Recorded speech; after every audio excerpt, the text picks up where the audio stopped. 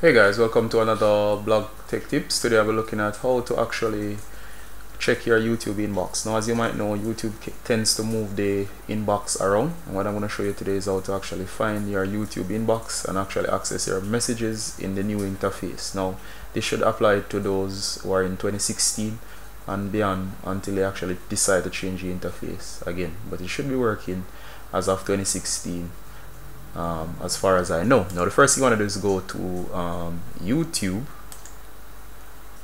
Once you're on YouTube, what you're going to do next is you're going to sign in. As you can see up here in the upper right corner, you should notice you're have logged in. Now once you do you click on your name or your icon. Next, you're going to click on Creator Studio.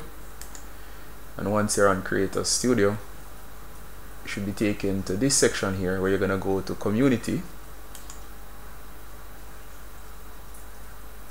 once you're in community look over here in the left hand section you should notice over here messages. And you're going to click on messages.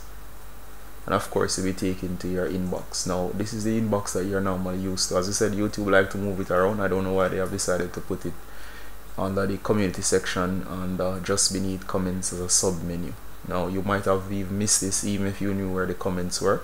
So this is also a quick tutorial to show you where to actually find the YouTube message inbox or the YouTube inbox right if you guys enjoy this please like please share please remember to comment and subscribe. This is Ricardo Gardener from Blog Tech Tips and another quick tip. Alright guys thanks and bye